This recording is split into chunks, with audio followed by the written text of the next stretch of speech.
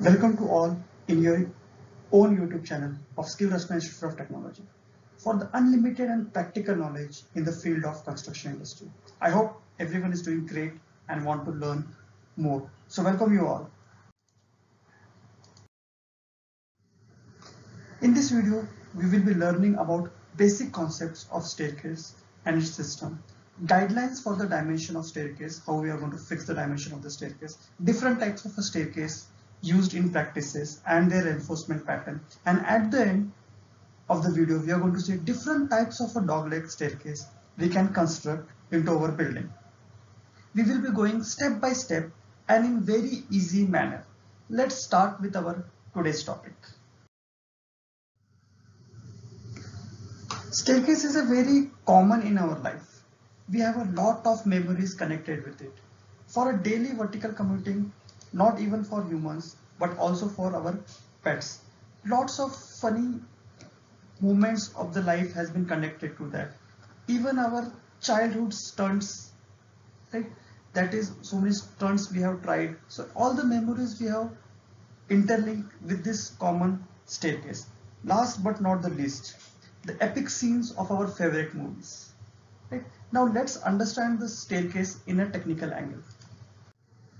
Staircase is defined as a series of steps or flights for passing from one level to another in any building. They are basically a vertical means of commuting. They consist of various components like treads, that is the horizontal portion of the staircase. We can see into the image the width and the depth of the tread. Next will be the risers. They are the vertical portions of the staircase. Then the landings, that is the extended tread after a series of the step as we can clearly see into the diagram.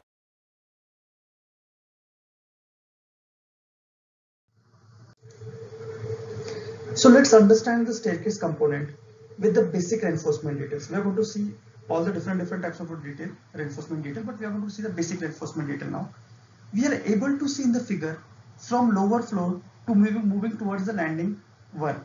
We can see the reinforcement pattern and then towards landing two we can see the bars for handrail which is written as a 50D where D is dia of the bar. For example, if I'm going to use a 12 mm dia of the bar, we need to provide 50 into 12 that is 50D that will be around 600 mm length of bars need to be provided for RCC handrails.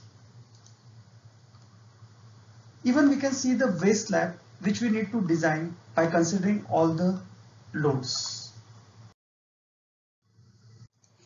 Now we will see the guidelines for fixing the dimension of the staircase components. The risers should not be more than 200 mm and the tread any case should not be less than 200 mm. So we need to remember this important funda. Now I can simply classifying the building into two types that's the residential building and the public building. So what is the average size we can keep as per the IS codes?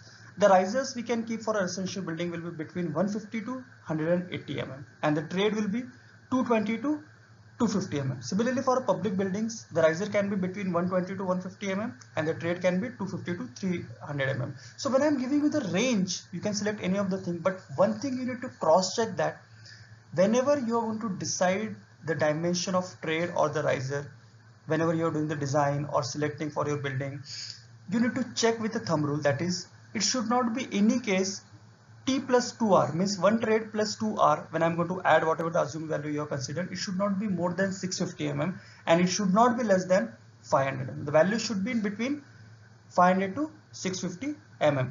It will be much more perfect if it's going to be nearby 600 mm. For residential building, the width of the stairs should be between 0.8 to 1 meter and for public building, it will be varies from 1.8 to 2 meter the width of the landing should be equal to the width of the state. That's a very simple funda. Now next move to the one of the most important point that is the pitch. So we are able to see the right side corner diagram.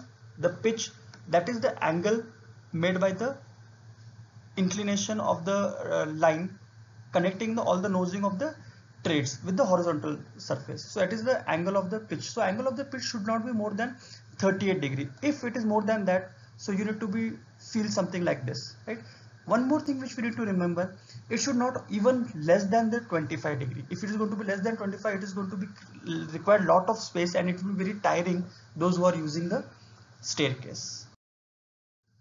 So now let's go for our next topic that is the staircase support system and their reinforcement detailing. Now the first type of a staircase which we are going to cover is the stringer beam. So stringer beam is basically stringer are used as a support or as a connector between the different different steps. There, there are basically two types of a stringer beams. First will be the end stringers in which the tread will be acting as a simply supported slab right? And second will be the central uh, central uh, uh, stringer beam. So we are going to see that stuff. So when i am using the end stringer beam so definitely i'm having some of the benefits like i can go for a thinner slab dimension. So it, if it is going to be thin i'm going to save in the concrete extra but the only concern is that extra formwork is going to require because you need to do, throughout the uh, span and it may be a two parts also required. In some of the cases i can provide one stringer beam at the one end and another i am directly going to rest on the wall. The reinforcement detail for the end stringer will look like this because it's a simply supported stuff. So there will be only a negative bending moment at the supports. So i need to provide the rebars only at the top at the end supports. Now as it is simply supported so rebar will be at the bottom as we can see into the image. Now the next is the central stringers beams. So like for our home or when the cost of the client is budget of the client is little bit uh, normal so that time we can go for such kind of a sophisticated of a uh, staircase that is known as a central stringer that is also called as a spine wall staircase right? In this case the reinforcement will be at the top to counteract the negative bending moment because you're able to see that is a cantilever it is acting on a cantilever base. Such kind of a staircase system is also acting as a fire resistance. Now we can see the reinforcement pattern as it is the cantilever kind of a beam. So it is going to the rebar is going to be at the top part as we can clearly seen into the images now going for a folded plate staircase. So it's like an assembly of flat plates connected together along their edges in such a way that they are capable of carrying the loads without the need of additional support of the beam. So you are not able to see any kind of a beam here. That is basically the folded plate staircase. So let's see what are the reinforcement patterns we are having staircase. We can go for a two different type of a pattern as the alternate one and as the alternate 2 so you can pause the video here and you can see the detailing work. That's why it is enhanced also how the individual detailing has been done. So you can observe clearly for alternate 1 and alternate 2 in which we can use for a folded plate reinforcement system. Next will be the open well staircase. That is having a well kind of a shape right between the outer strings. Generally we use where the budget of the client is also big and for commercial spaces we can go for such kind of open well kind of a staircase. Generally the span partly crosses at a right angles to each other. You are able to see in the image. And the load is going to be divided into two parts. Now we can better understand this now try to refer the second diagram the central part. Now you're able to see the staircase. Now the staircase see the loading pattern on the right hand side of the circle part the loading pattern the divided into half of at the top even half at the bottom. That is basically the load distribution pattern for a open well staircase system. Now the spiral staircase the one of the best like uh, in the looks in every prospect. Now they're generally used for a prestigious building right?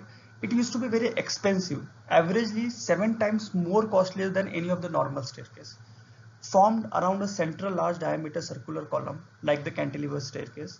Okay. Reinforcement placed to the both the faces of the slab in the form of radial bars. Let's see how the reinforcement pattern for a used to be. Now you're able to see a large amount of steel reinforcement is used to resist the bending moment, shear force and the torsional moment. Now see the focus on the diagram. You're able to see the ring beam in the inner side even at the outer side and there are a lot of rebars continuous bars running to the length of the spirals even the cross bars or the radial bars also moving into the staircase so that is basically and it's a little bit more expensive so we can go generally we prefer where the budget is very huge and the importance of the staircase plays a very very important role in the addition feature of the building. Now the most common type of a staircase which is mostly used and everywhere you have observed that that is a dog leg staircase. Right? So generally it is often used in, in mostly case of the domestic building and in other parts of a building also. So generally turns through 180 degree, right? Rises parallel to the lower flight and the landing half space and half turn as you're able to see into the second image. Now mostly used in all types of a building. It is suitable for every type of building. So now we are going to cover a very important part of the dog leg staircase that which are the different different types of a dog leg staircase we can use into our construction basically there are three types of a dog leg staircase system which we can go. The first system is staircase slab with supporting beams at the outer edge of the landing. You're able to see the beams which is acting as a supporting member. They're at the outer edge. Okay now see the reinforcement pattern. If you want you can pause the video and see you, see, simply observe the reinforcement pattern for the SEM let's move to the staircase slab with supporting beam at alternate positions. Now you're able to see in the first type the beams were at, at only the outer edge. Now we are having one at the outer edge and one at the inner edge. Now you're able to clearly differentiate between both of the types of the beam. Now moving to the that both the beams at the inner edge of the landing. So now you're able to understand clearly. So that will be the inner edge of the landing is there. So similarly reinforcement pattern is going to vary. So this is the basic stuff all about how to decide the dimension of the staircase and which are the different different types of the staircase and what are the reinforcement. So for more videos on advanced technologies and recent news and practical information on construction industry do subscribe our YouTube channel. And if you require any other detail or information on staircase, do write into our uh, comments. We will definitely uh, bring you the new video in the terms of the staircase for you. So thank you everyone. Stay tuned.